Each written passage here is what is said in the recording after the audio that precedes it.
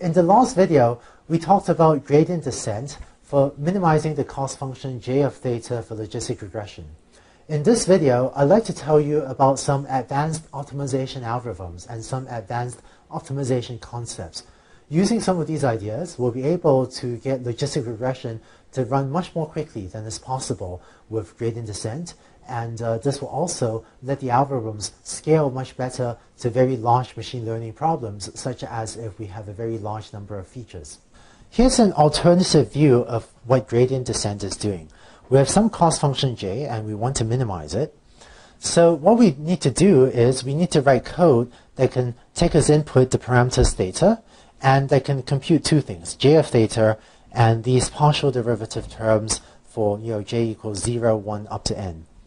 Given code that can do these two things, what gradient descent does is it repeatedly performs the following update, right? So given the code that we wrote to compute these partial derivatives, gradient descent plugs this in here and uses that to update our parameters theta. So another way of thinking about gradient descent is that we need to supply code to compute j of theta and these derivatives, and then these get plugged into gradient descent, which can then try to minimize the function for us. For gradient descent, I guess technically you don't actually need code to uh, compute the cost function j of theta. You only need code to compute the derivative terms. But if you think of your code as also monitoring convergence or some such, we'll think of as we'll, we'll just think of ourselves as providing code to to compute both the cost function and the derivative terms.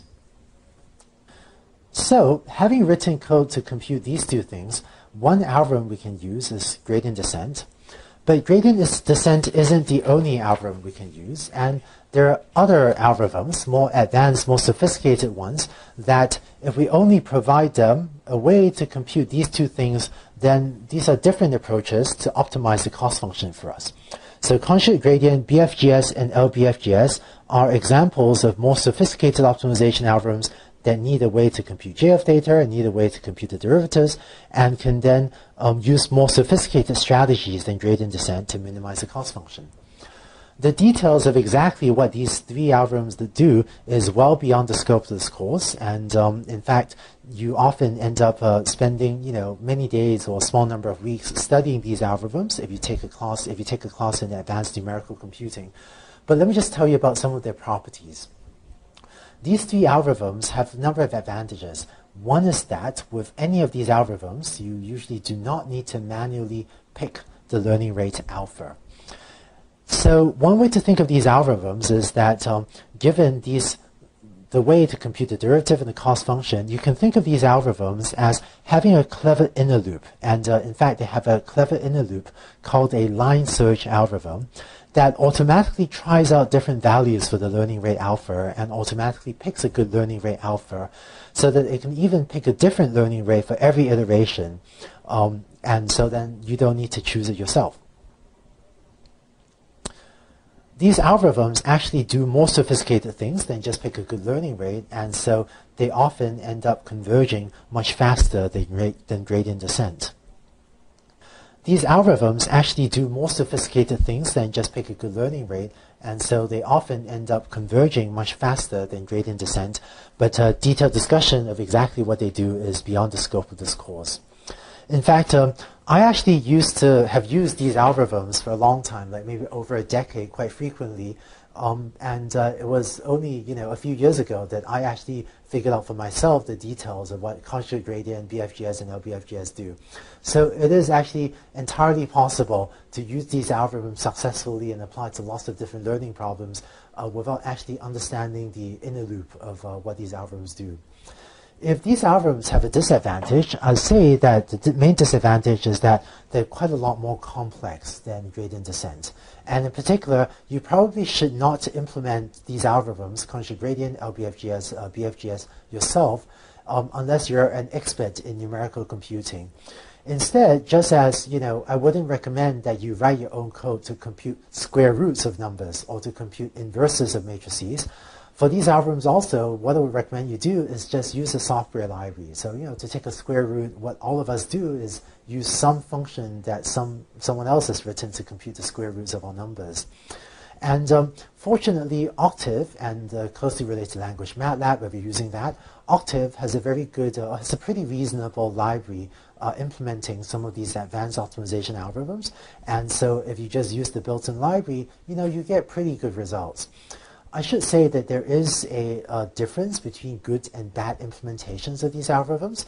And so if you're using a different language for, for your machine learning application, if you're using like C, C++, Java, and so on, um, you might want to try out a different couple different libraries to make sure that you find a good library for implementing these algorithms because there is a difference in performance between a good implementation of you know conjugate gradient or LBFGS versus a less good implementation of conjugate gradient or LBFGS. So now let's explain how to use these algorithms. I'm going to do so with an example. Let's say that you have a problem with uh, two parameters, or theta um, equals theta 0 and theta 1. And let's say your cost function is j of theta equals theta 1 minus phi squared plus theta 2 minus phi squared. So with this cost function, you know, the value for theta 1 and theta 2, if you want to minimize j of theta as a function of theta, the value that minimizes it is going to be theta 1 equals 5, theta 2 equals 5. Now, um, again, I know some of you know more calculus than others, but the derivatives of the cost function j turn out to be these two expressions down here, so I've, I've done the calculus. So if you want to apply one of the advanced optimization algorithms to minimize this cost function j, so if, you know, if, if, if, we didn't know the minimum was at 5, 5, but if you want to have a cost function, find the minimum numerically, right, using something like gradient descent, but preferably more advanced than gradient descent, what you would do is implement an octave function like this. So we implement a cost function, cost function theta function like that. And what this does is it returns two arguments.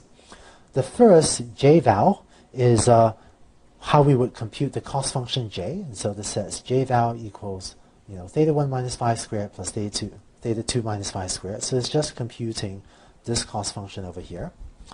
And the second argument that this function returns is gradient. So gradient is going to be a 2 by 1 vector. And the two elements of the gradient vector correspond to the two partial derivative terms over here. Having implemented this cost function, you would you can then call the um, advanced optimization function called uh, fminunc. It stands for function minimization unconstrained in Octave. And the way you call this is follows. You set a few options. This is a options is a data structure that stores the options you want. So GradObj on this sets the gradient objective a parameter to on. It just means that you are indeed going to provide a gradient to this algorithm. And we're going to set the maximum number of iterations to, let's say, 100. We're going to give it an initial guess for theta. This is a 2 by 1 vector. And then this uh, command calls fminunc. This at symbol represents a pointer to the cost function uh, function that we just defined up there.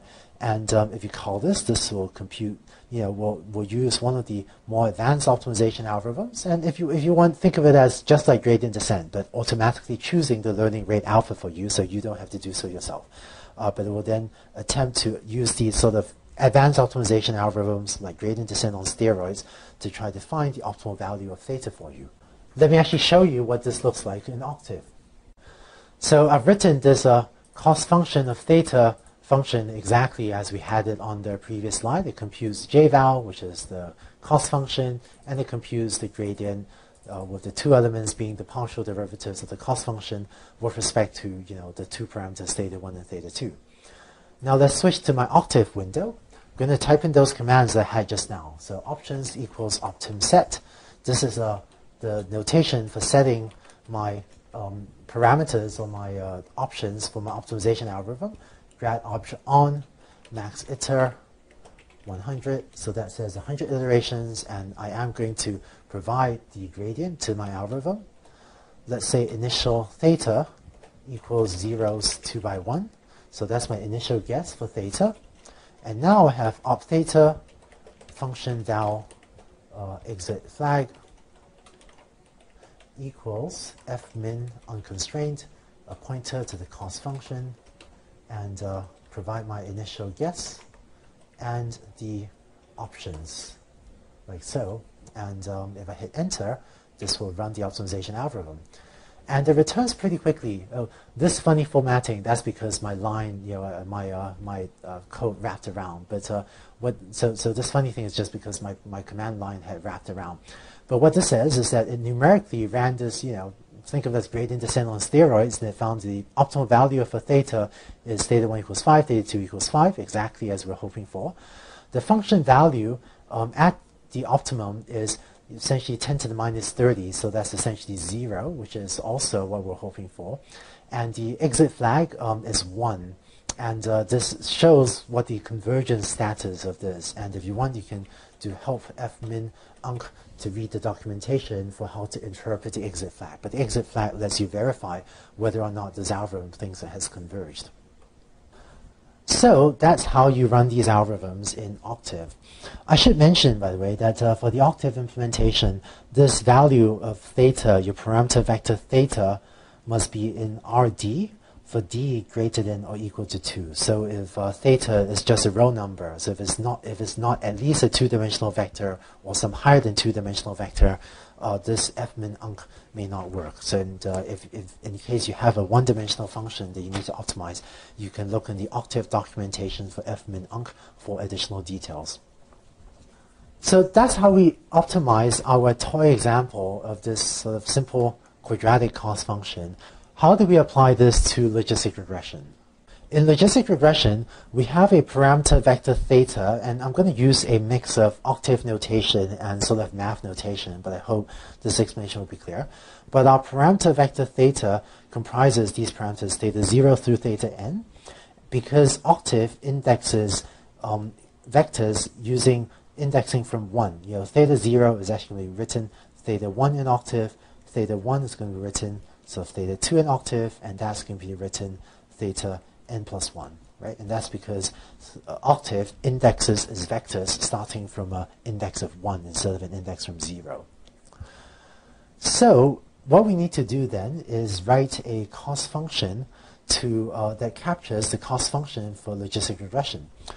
Concretely, the cost function needs to return jval, which is you know jval, so you need some code to compute j of theta, and we also need to give it the gradient. So gradient 1 is going to be some code to compute the partial derivative with respect to theta 0, uh, the next partial derivative with respect to theta 1, and so on. And once again, this is gradient 0, uh, this is gradient 1, gradient 2, and so on, rather than gradient 0, gradient 1, because um, octave indexes is vectors starting from 1 rather than from 0. But the main concept I hope you take away from this slide is that what you need to do is write a function that uh, returns the cost function and returns the gradient. And so um, in order to apply this to logistic regression, or even to linear regression, if you want to use these optimization algorithms for linear regression, what you need to do is plug in the appropriate code to compute these things over here. So now you know how to use these advanced optimization algorithms. Because um, using because for these algorithms you're using a sophisticated optimization library, it makes the code just a little bit more opaque and so just maybe a little bit harder to debug. But because these algorithms often run much faster than gradient descent, often, uh, quite typically, whenever I have a large machine learning problem, I will use these algorithms instead of uh, using gradient descent. And uh, with these ideas, hopefully you'll be able to get logistic regression and also linear regression to work on much larger problems. So that's it for advanced optimization concepts. And uh, in the next and final video on logistic regression, I want to tell you how to take the logistic regression algorithm that you already know about and make it work also on multi-class classification problems.